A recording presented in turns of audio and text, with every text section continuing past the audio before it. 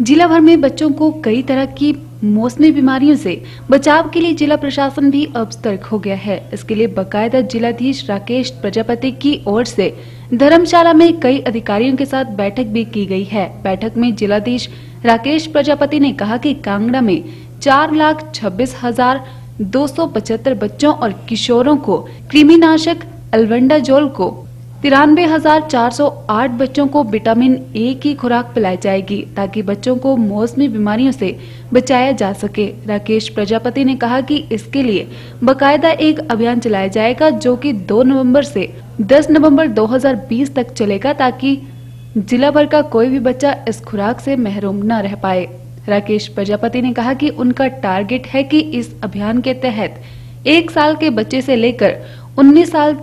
तक की आयु वर्ग के हर बच्चे को घर द्वार जाकर कृमिनाशक दवाई एल्वेंडाजोल उपलब्ध करवाई जाए और इसके साथ ही एक साल से लेकर पाँच साल तक की आयु के सभी बच्चों को विटामिन ए की खुराक पिलाई जाए। टीसी राकेश, प्रजापति ने कहा कि बच्चों और किशोरों में कृमि संक्रमण के घातक दुष्परिणामों से शारीरिक और बौद्धिक विकास की क्षमता प्रभावित होती है। उपायुक्त ने सभी संबंधित अधिकारियों को अभियान के तहत निर्धारित लक्ष्यों को हासिल करने के लिए तत्परता के साथ काम करने के भी दिशा निर्देश जारी किए हैं। उन्होंने कहा कि कोविड 19 वायरस संक्रमण के इस दौर में आशा वर्कर और आंगनबाड़ी कार्यकर्ताओं की भूमिका अभियान के लिए बेहद महत्वपूर्ण है। राकेश कुमार, प्रजापति ने मुख्य चिकित्सा अधिकारी को आशा वर्कर, आंगनबाड़ी कार्यकर्ता एएनएम और स्वास्थ्य कार्यकर्ताओं को कोविड 19 से संभावित संक्रमण के मद्देनजर सभी दिशा निर्देशों के पालन, मास्क का प्रयोग और व्यक्तिगत स्वच्छता को सुनिश्चित करने के भी आदेश दिए हैं। डीसी ने प्रारंभिक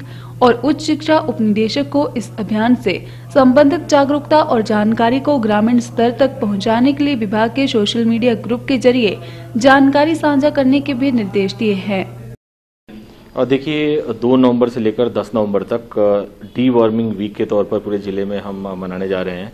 और इसमें हमारी कोशिश है कि एक साल से उन्नीस साल के जो बच्चे हैं,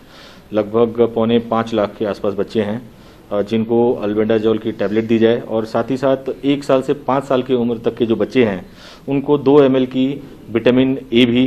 विटामिन ए की सिरप दी जाए। और सबको ये इंस्ट्रक्शन दी गई है, क्योंकि कोविड का समय चला हुआ है और इसीलिए एक्सट्रीम प्रिकॉशन के साथ किस प्रकार हमारे जो आशा वर्कर्स हैं आंगनवाड़ी वर्कर्स हैं घर घर जाकर और कैसे सेफ़ डिस्टेंस को मेंटेन करके सेफ़ प्रैक्टिसेस को मेंटेन करके ये जो टैबलेट्स हैं बच्चों को देंगे। और साथ ही साथ क्योंकि हमारे को बहुत समय मिल रहा है, दो नवंबर से दस नवंबर को, और हम हर घर में जा रहे हैं इसीलिए जो कोविड से रिलेटेड जानकारी है, वो भी आशा वर्कर और आंगनबाड़ी वर्कर्स लोगों से शेयर करेंगे ताकि पूरे ज़िले को हम आईसी एक्टिविटी के अंदर कवर कर सकें। साथ ही साथ पैम्पलेट्स भी उनके माध्यम से दिया जाएगा और साथ ही हर घर में जो आईएलआई सिम्टम वाले लोग हैं और जो खास करके कोमॉर्बिड लोग हैं, उनकी सूची भी साथ ही साथ तैयार की जाएगी। आपको पता होगा कि जब कोरोना का समय शुरू हुआ था, उस समय हमने एक एसीएफ एक्टिविटी की थी एक्टिव केस फाइंडिंग